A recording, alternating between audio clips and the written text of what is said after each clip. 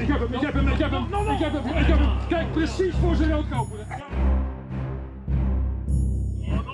Nadat op 12 juli 1573 de stad Haarlem door de Spanjaarden wordt veroverd, lijkt het duidelijk dat de hertog van Alva, baas van het grote Spaanse leger, ook Alkmaar op de knie wil krijgen. Hij stuurt zijn zoon, Don Frederik, om dat even te regelen. Alkmaar, de stad van kaas, inpoldering en AZ.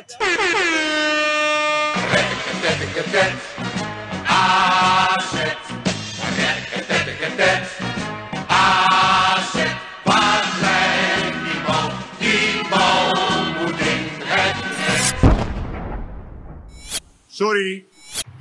De Alkmaarse pensionaris Nanning van Foreest schrijft alles wat hij ziet in zijn dagboek, zodat hij later kan vertellen wat er allemaal is gebeurd. Ik ben benieuwd wat hij allemaal te vertellen heeft. Lief dagboek.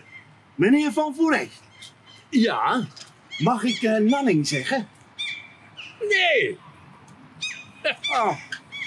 oh. Maar eh, meneer van Foreest, waarom wilden die Spanjaarden eigenlijk Alkmaar innemen? Eh, toen in 1572 de opstand goed op gang was gekomen met de overgang van eh Brielen, Vlissingen en in Noord-Holland ook Enkhuizen, Hoorn en Medeblik, hadden de Spanjaarden een groot probleem. De opstand kreeg gestalte en al die boten die naar Amsterdam moesten, hadden een groot probleem. Ze hadden nog geen Noordzee.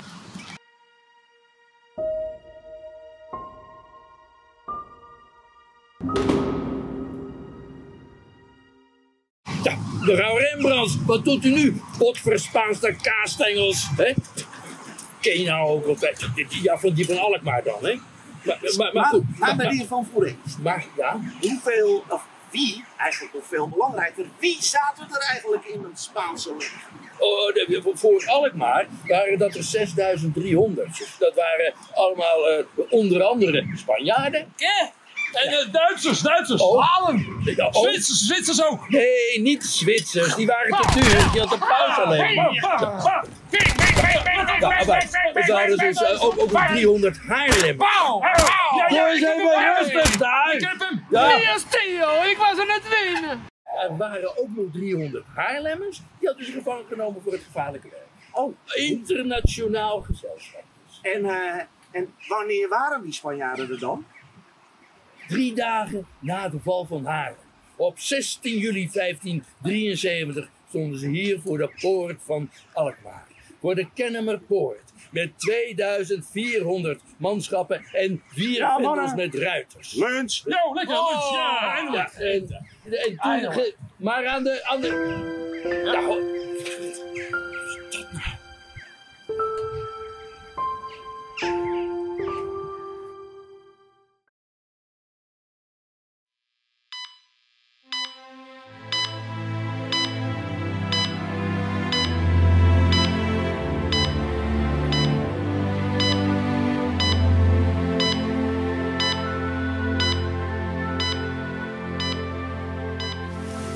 Weer een beetje, meneer Royal?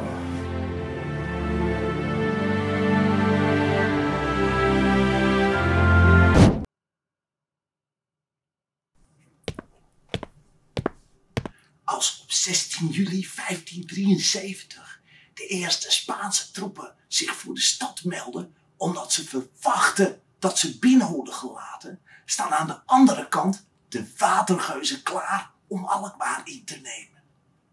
De poort zit alleen nog dicht. Hij zit op slot. Hij zit op slot. Dicht.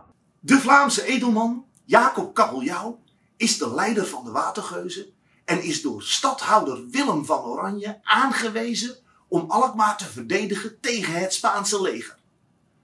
Nog voor de Alkmaarse bevolking de Spaanse troepen binnen kon laten, stormde Jacob met zijn geuzen door de stad. Ik ben benieuwd wat hij allemaal te vertellen heeft. Meneer Kabeljauw, mag ik Jacob zeggen? Nou, nee, ja. H- houdt u het maar op heer Kabeljauw. Dan doen we dat. Eh, hoe bent u eigenlijk de stad ingekomen? Ja, door de Friese poort natuurlijk. Dat lijkt me logisch. Ja, die, die was alleen nog op slot. Dat is niet handig. Nee, dus die Dirk Duivel zegt dat hij er tegenaan leunde. Maar het kwam eigenlijk, denk ik, door Maarten Pieterszoon van der Meij. Die had de sleutel gekregen van burgemeester van Teiling.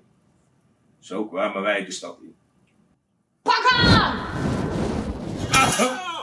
Mevrouw, mevrouw Rembrandt, wat doet u nu? Dat moet pijn gedaan hebben, meneer Kabeljauw. En dat bolwerk rondom Alkmaar, wie's idee was dat dan? Nou, Adriaan eh Antoniszoon die eh, heeft mijn visie en inzicht gebruikt om een mooie stadswal te ontwerpen. En dat is wel handig ook natuurlijk, want met zo'n wal graaf je ook meteen een singel. En eh, ja, zatboeren die voor een prikkie natuurlijk wel even aan het werk wilden. Dus die eh, eh, liepen de, het vuur uit een slof natuurlijk. Sorry. Maar uiteindelijk was het natuurlijk allemaal mijn verdienste. Uw verdienst. Maar, eh. u was toch ziek?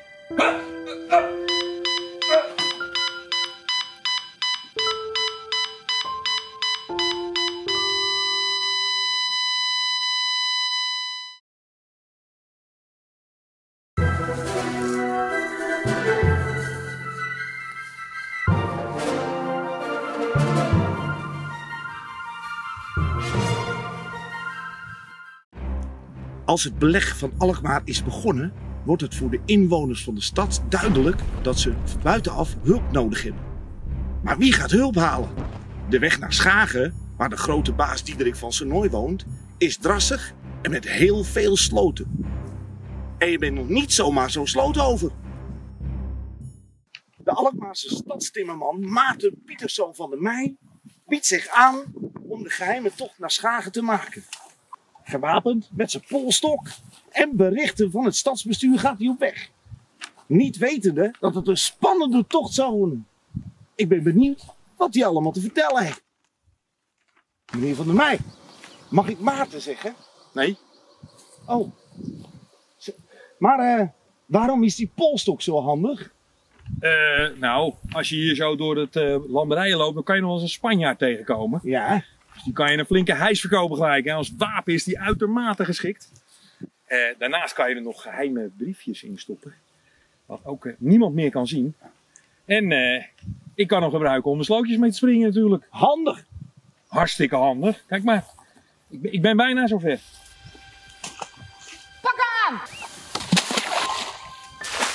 Mevrouw Rembrandts, beetje rustig alstublieft. Zeg, wat stond er op die briefjes? Eh, nou, daar stonden eh, ja, de boodschappen van het stadsbestuur. Die, eh, die vroegen natuurlijk om kruid, want er was bijna geen kruid meer. Eten was ook bijna op. Dus, en ze vroegen natuurlijk aan, aan onze legerleider van steek de dijken door en zet alles onder water. Het welbekende inundatie. En ja, dat staat allemaal op, deze briefjes. Die moet ik zo direct in de polstok stoppen en dan ben ik onderweg hè. Sorry. Inundatie. Wat betekent dat? Dat is het, eh, het, eh, het moedwillig onder water zetten van de landerijen. Dus eh, ja, eigenlijk net als hier. Hè? Je graaft een geultje en dan stroomt dat onder. Perfect. Oké dan. Alleen zijn sommige mensen daar niet zo blij mee. Dus we moeten nog even strijden tegen de boeren die daar natuurlijk weer tegen zijn. Want die gooien anders weer het geultje dicht of het gaatje dicht. Dat kunnen we natuurlijk ook niet hebben. Dus eh, we moeten harde maatregelen hebben voor Alkmaar. Dus waar moet u nu naartoe? Ik, eh, ik ben nu onderweg naar Schagen. Naar eh, heer van Senooi. En, en, en die gaat mij overal bij helpen. Tenminste, dat zei ze van de lege leiding in Alkmaar. Dus als u niet even de tijd heeft, dan ga ik weer aan de gang. Hè? Helemaal goed. Oh, verdorie!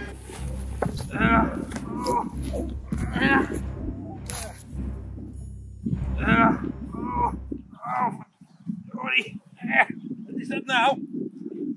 Jij zou ook nooit eens een keertje uit. Waar wilt u naartoe? Ik, ik moet naar Schagen met, met, met mijn polstok. Dat kan. Kom maar achterop. Oh, dat zou geweldig zijn.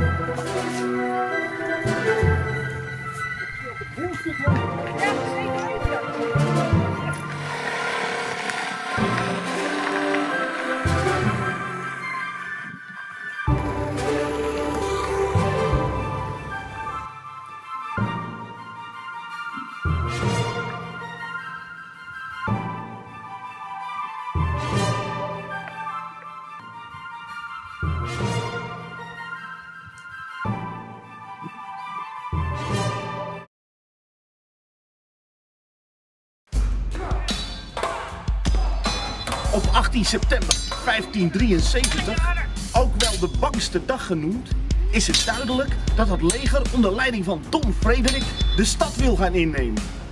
Het begint al met het beschieten van de arme stad met 2000 kanonskogels. Maar de vrouwen in de stad waren levensgevaarlijk.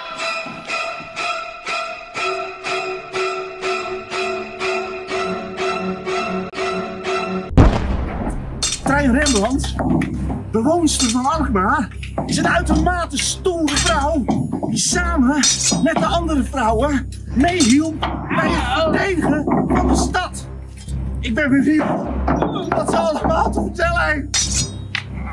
Mevrouw Rembrandt, mag ik trein zeggen?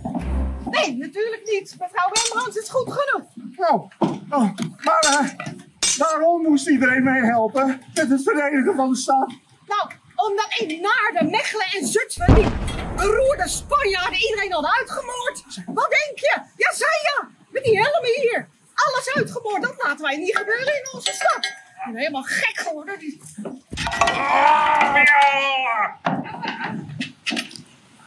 Maar, eh, en eh, hoe eh, deed u dat dan? Dat verdedigen van die stad? Nou, behalve met de wapens die we hadden, pakten wij stenen, die gooiden we naar beneden. Kan je heel hard mee gooien. Kijk, hop, weg. We,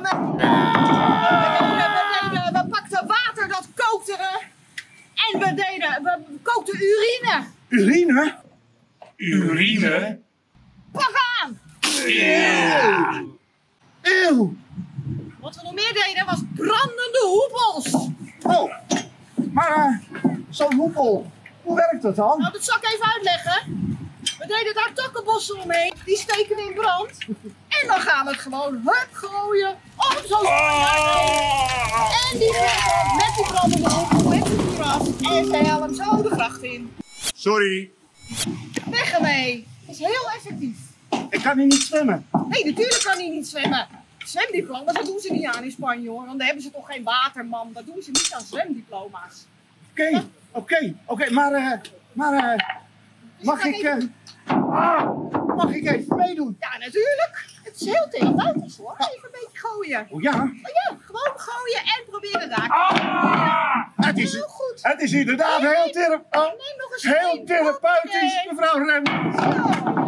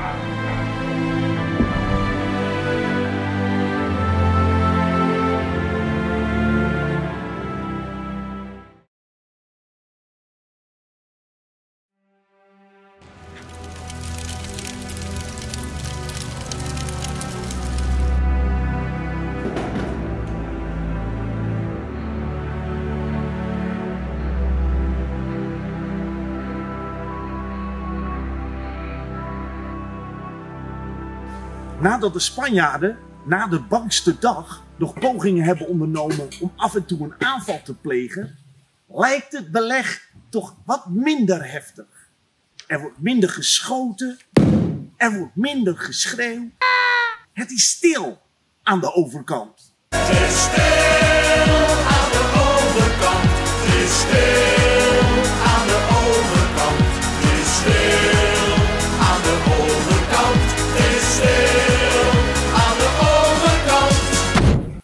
Dirk Duivel, een van de belangrijke officieren bij de Watergeuzen En de heldhaftige verdediger van de Friese poort kijkt samen met zijn mannen of het Spaanse leger inderdaad weg is. Benieuwd wat hij te vertellen heeft. Meneer Duivel. Mag ik Dirk zeggen? Nee. Oh. Oh. Maar eh, waarom eh, gingen die Spanjaarden er eigenlijk vandoor?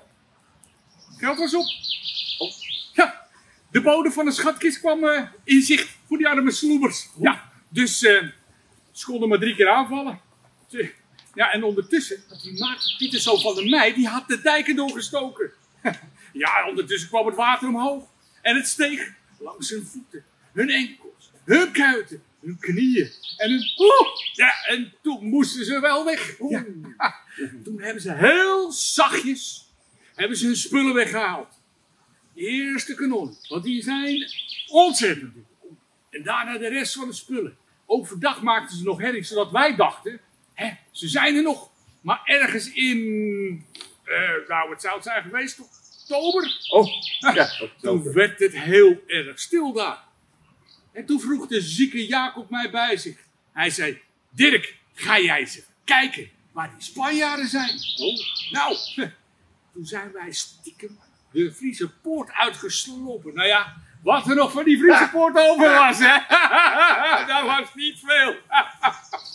Dus wij zijn heel rustig, zijn wij naar de Spaanse linies gegaan. En jij raadt het natuurlijk al, hè? Nee. Nee. Nee. Nou, inderdaad, nee, niks. Geen Spanjaard te bekennen. Helemaal niets.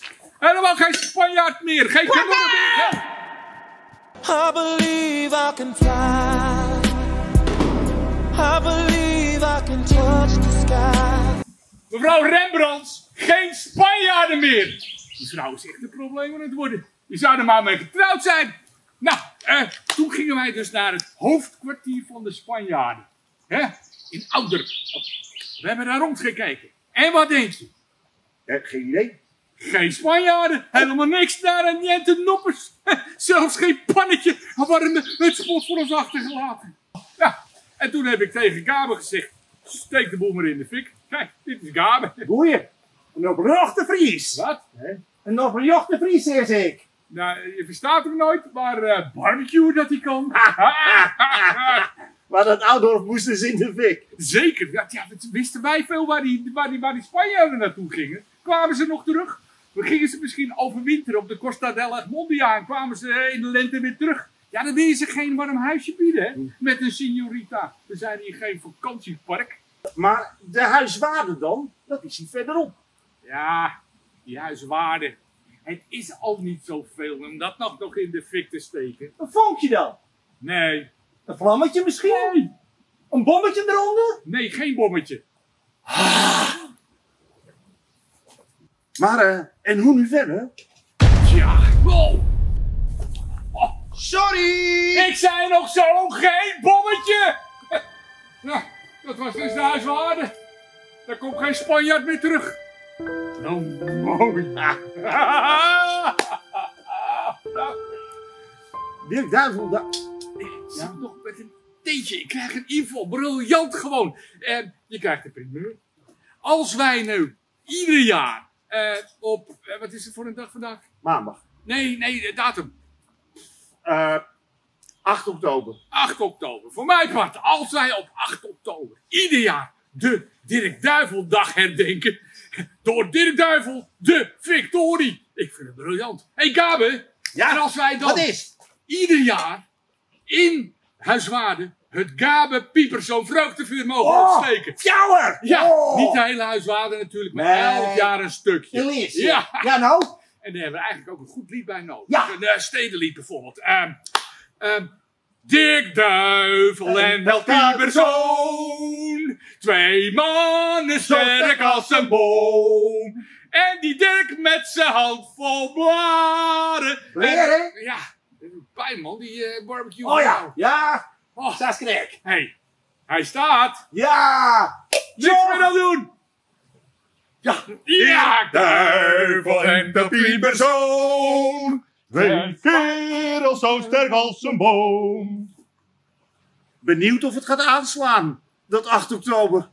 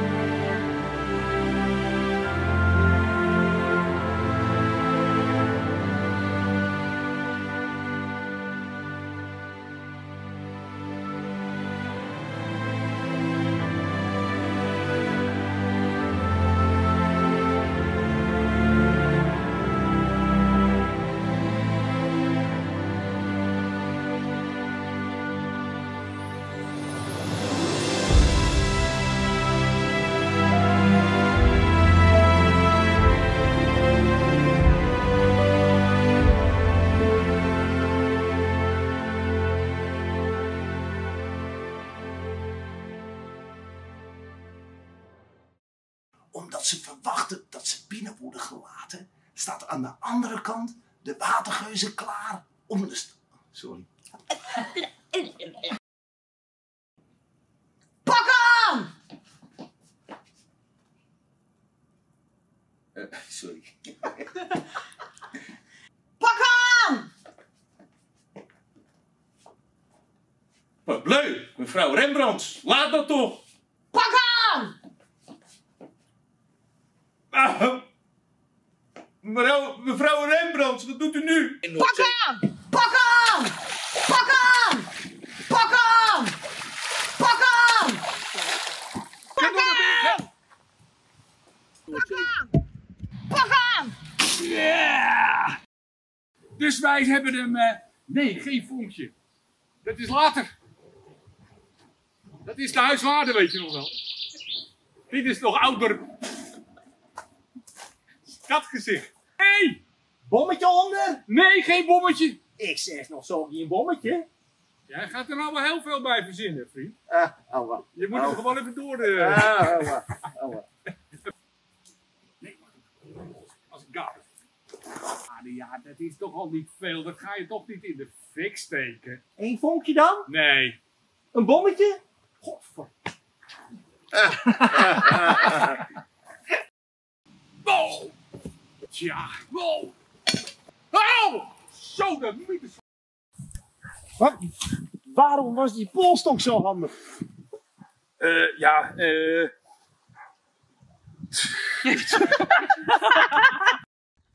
Dat heb ik natuurlijk helemaal niet in beeld.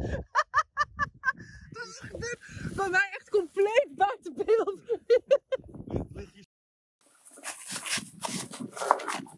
Oh, mijn camera zakt, sorry. Jullie blijven gewoon net zo lang doorgaan totdat Ja, ik wel ja, ja, joh. doorloop. Hè? Lekker voor je Daar zitten jullie op de haak. Ja. Nee, jullie hoeven alleen maar urine te Maar jij kan het toch uitgemeten worden? Oké. Wij wij die van Jongens, tijd zijn. hebben Urine. urine. Dan moet je dus... Oh, wacht. Dan, dan, dan moet iemand uit seintje geven. Pies.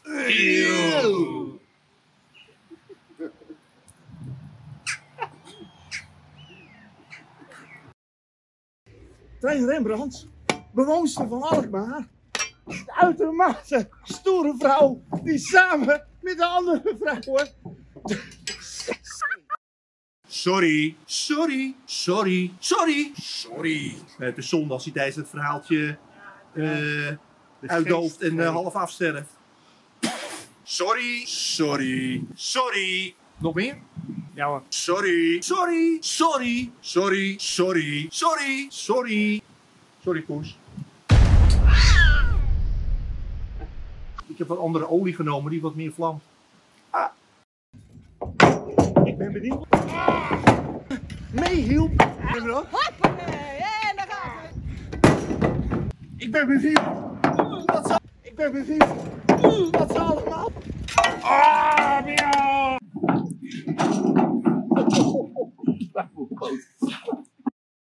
Ja.